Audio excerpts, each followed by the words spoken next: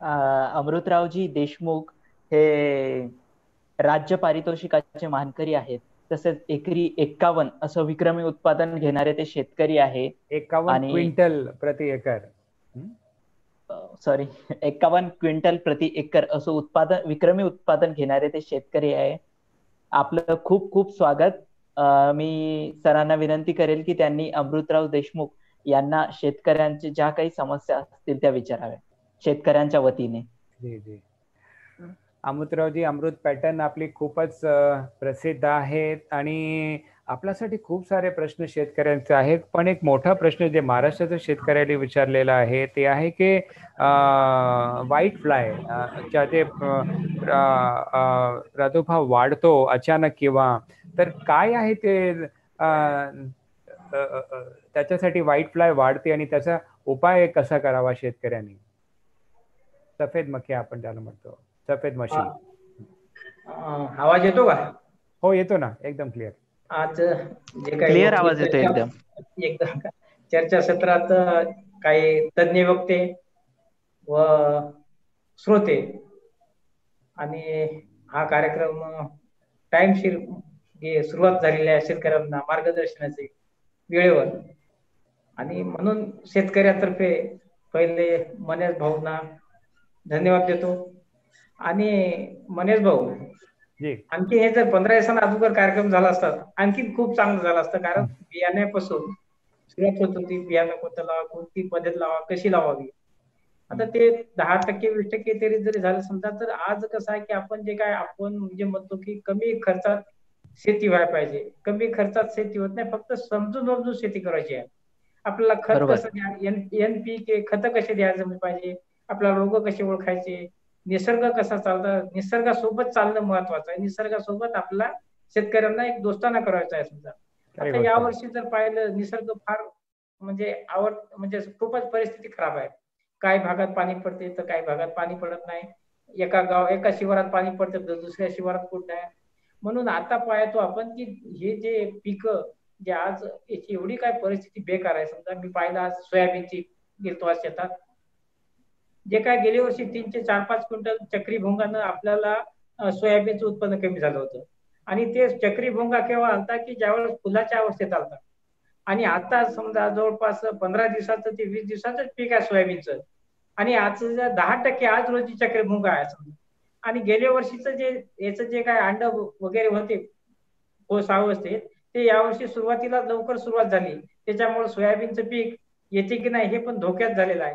आणि म्हणून आपल्या माध्यमातून तुमच्या माध्यमातून हे गावोगावी जाऊन शेतकऱ्यांना समजावून सांगणार की हे सोयाबीनचं पान कसं वाढते त्याच्यात ते अंडी चक्रभुंगा कसं त्याच्या रेग मारते क्रॅक मारते त्याच्यात आळी कशी जाते? ना किती नुकसान होते?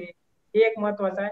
आता सोयाबीनच्या पिकात एक झाले की एक स्टेम फ्लाय आला. याच्यावर औषध नाही. आपण आपण बरेचसं काम केलं आहे त्याच्यावर. हो. मला बरेचसे माहिती आहे. स्टेम फ्लाय काय करते की बुडातून आळी तयार होते आणि ते वर शेड्याकडे चरत चरत त्या जे मंदातलं जे गाभा असते त्यांना खात जाते. आणि चक्रभुंगा काय करते की वरच्या शेट्यात आळी अंडे घालते आणि ते वरून ती खाली येते आळी. म्हणजे एक आळी वरतून खालतून वर चालली आणि वरतून एक येते आळी खाली चालली. याच्यामुळं सोयाबीन होते की नाही हे बी चिंता आहे. राहिले कापसाची गोष्ट आता यावर्षी कसं झाली की उन्हाचं तापमान खूप वाढलेलं आहे. ऊन खूप तापलेलं आहे. बरेचसे शेतकरी ड्रिपनं पाणी देतात तर ते ड्रिपनं पाणी कसं देते की त्याचं ज्यावेळेस पहिलं ड्रिपचं थेंब पडला त्याचं ते बियाणं पण लावते आता ज्यावेळेस ड्रीप पाणी ज्यावेळेस धोपा म्हणजे लोड शेडिंग वगैरे खूप असते ना आता ज्यावेळेस ड्रीप सुरू केली त्यावेळेस तेवढं तापलेलं गरम गरम पाणी असते त्या सालीद्वारे त्या बुडाला जाते आणि साल मोठ्या प्रमाणात भाजल्या जाते आणि ऊन पण खूप तपायलं त्याच्यामुळे साल त्याची खराब व्हायली यावर्षी आणि म्हणून त्या सा अशा शेतकऱ्यांना त्याच्यावर लक्ष द्यावं पाहिजे. सुरुवातीपासून की साल त्याची भाजल्यामुळं जवळपास पंधरा ते वीस टक्के पानं पिवळे पडते तर कापूस पिवळा पडते. नंतर लाल पानं होते आणि कापूस पीक आहे समजा हे काही बुरशीनाशक करी टाकले समजा तरी त्याचा काय उपयोग होत नाही.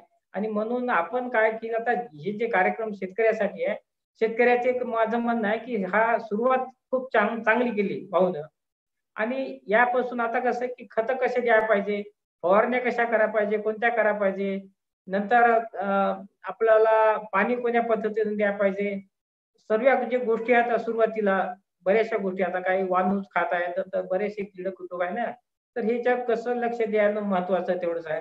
आता सर्वात मोठी गोष्ट की ज्यावेळेस आपण आम्ही मनेश भाऊन आम्ही तर खूप असे काही कार्यक्रम घेतले की आमच्याकडे खूप असे कृषी अधिकाऱ्याचे आमच्याकडे सर्व प्रूफ पण आहे. समजा की हे भोंडाळी बोंडाळी आहे नाही आहे बोंडसड आहे.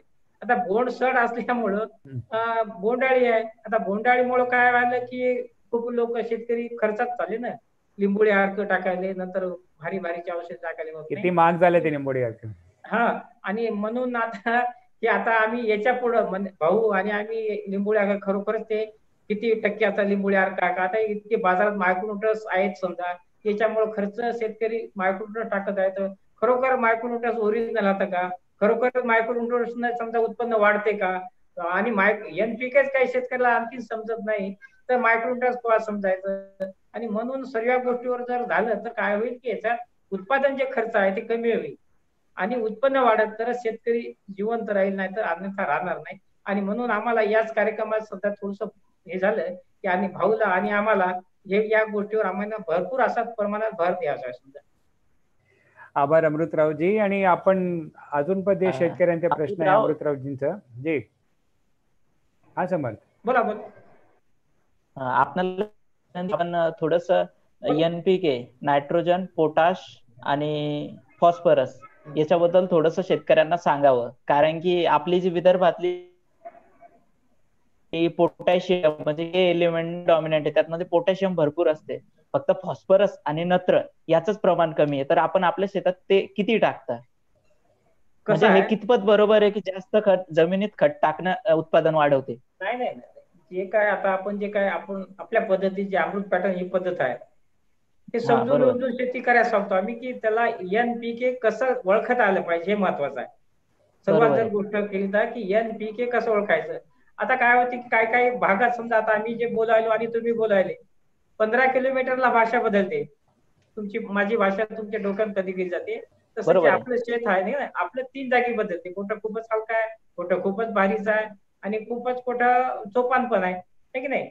आता तीन जागी आपलं शेत ज्यावेळेस बदलते तर आपण आपल्या शेताचे आपण शास्त्रज्ञ असा पाहिजे. आपल्या शेताची आपला माहिती असा पाहिजे की एनपीके कसं आहे. आणि ज्यावेळेस आम्ही ज्या शेतकऱ्यांना सांगतो की एनपीके टाकायचं कसं? खत टाकायचं कसं? ओळखायचं कसं? परंतु आम्ही पाहतो की जास्तीत जास्त शेतकरी खत टाकत असल्यामुळं उत्पन्न कमी होते. आणि म्हणून आम्ही त्यांना सांगतो की तुम्ही ज्यावेळेस शेतात जाल त्यावेळेस तुम्ही एक झाडासंग दोस्ताना करा. ठराविक झाडापाशी जाऊन उभे राहा आणि त्यांच्याशी बोला नक्कीच तुम्हाला ते बोलल. आणि म्हणून आपल्याला ज्यावेळेस ज्या झाडापाशी जाऊ आपण त्याला बोलत तर ते नक्कीच तुम्हाला बोलल.